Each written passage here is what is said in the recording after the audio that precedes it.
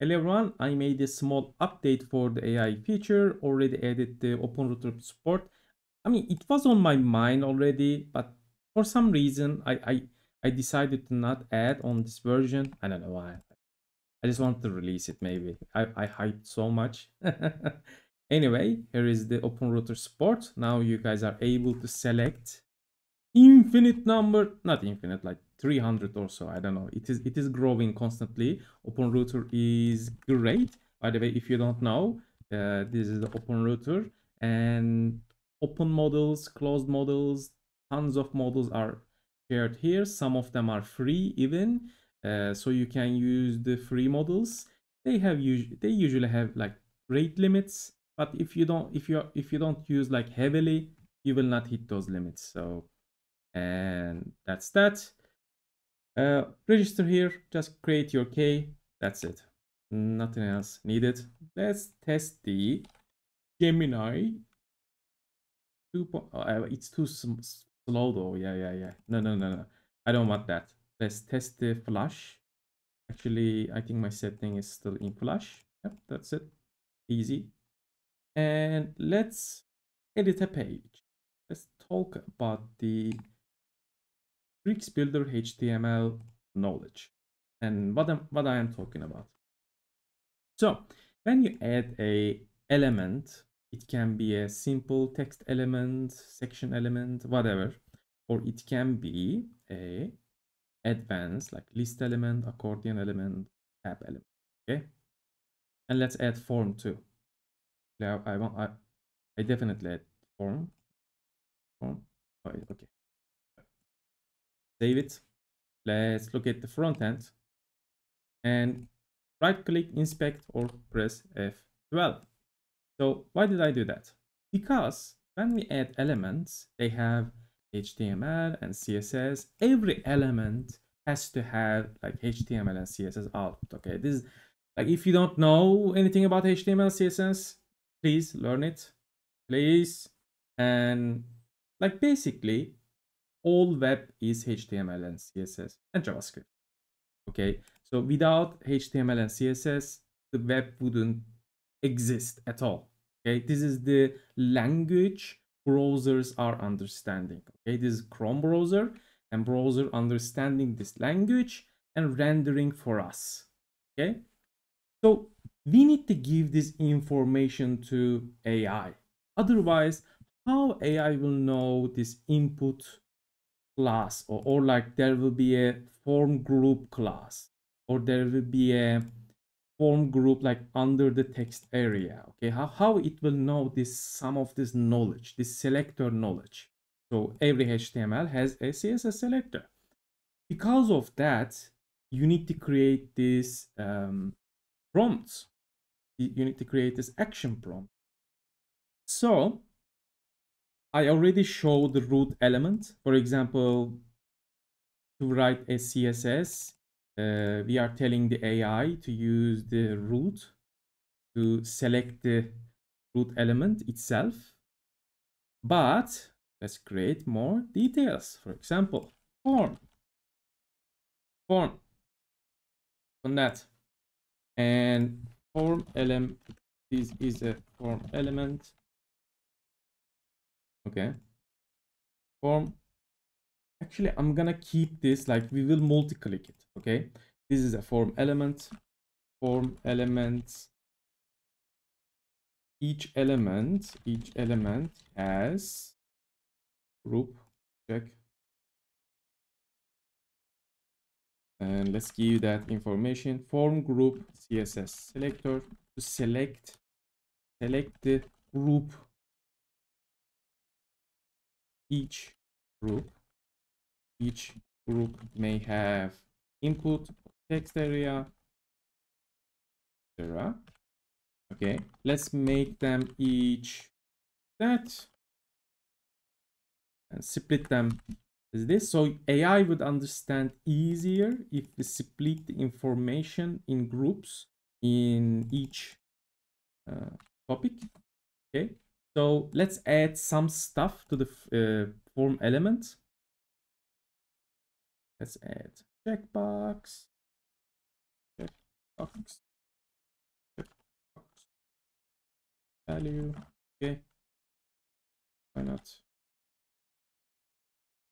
One, two, three, four. Actually, I want that not more. Okay. Okay. And checkbox has the uses li and option wrapper and when there is option. Let's say when there is select options, select it with wrapper li each uh, option. Okay. I think that will be enough for now. Let's save it.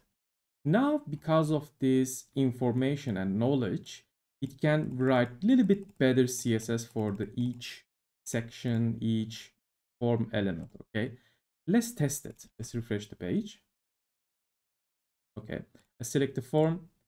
First, I will show like without selecting the form. I will just select the CSS and tell it like um, make my form here maybe gradient borders, stroke background, and add padding for each form section.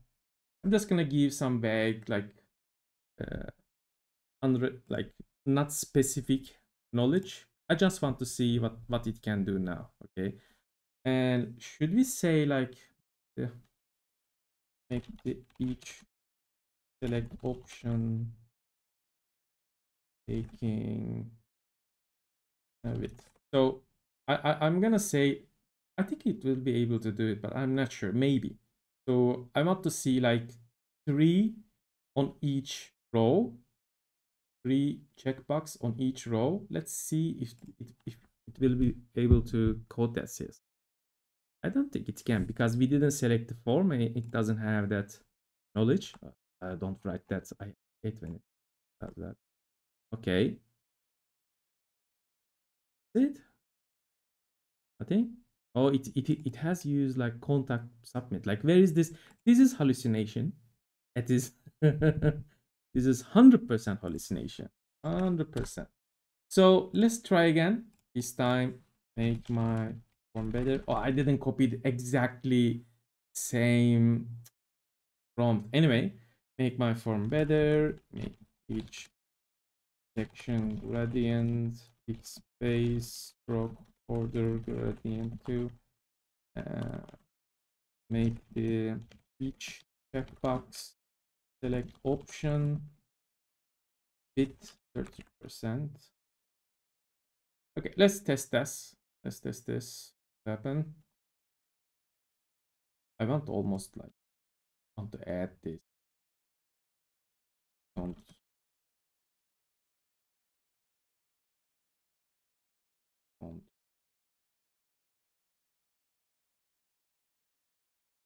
Let's do that too. For now, let's use that. Clean it. Aha! It worked. Ah! I knew it. I didn't test this before, but I had the theory.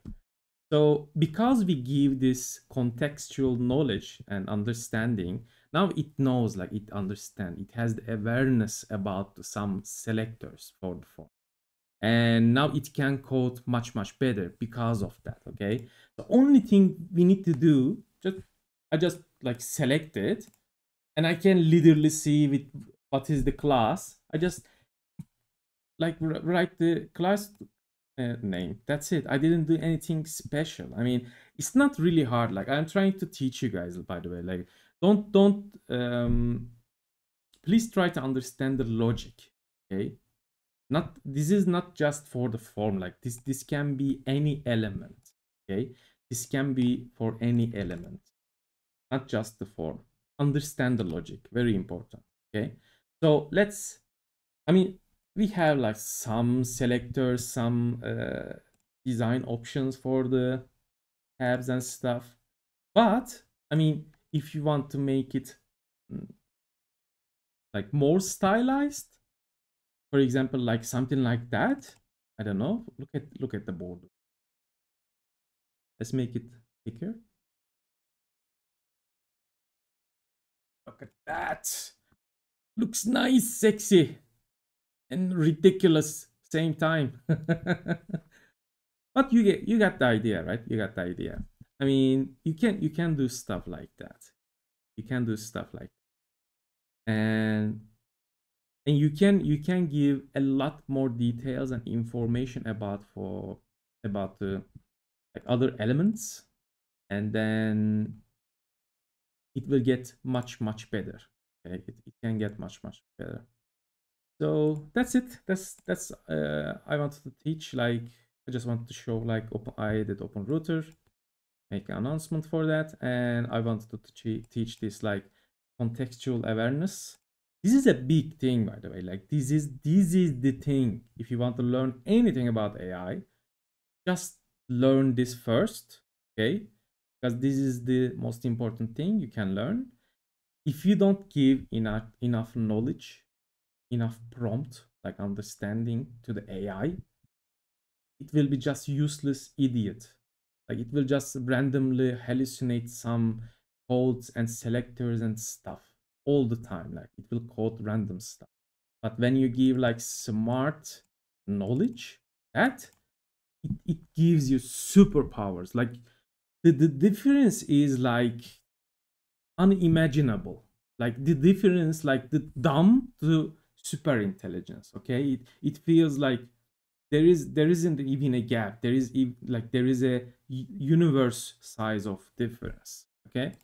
So please understand the logic and don't fear about the like reading html and stuff. Like at least learning which uh, css class like which element is using even that knowledge is important okay so most of you don't even know like some basic html and css and i'm not talking about like you have the code and stuff. No you don't.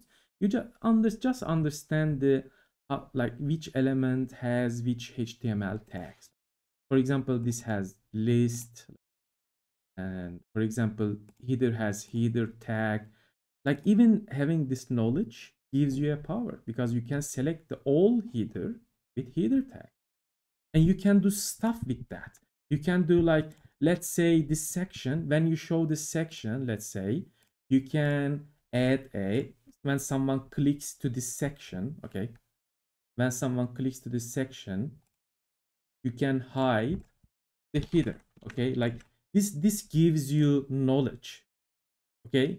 Understand this like basic HTML and CSS on the brick or on the web.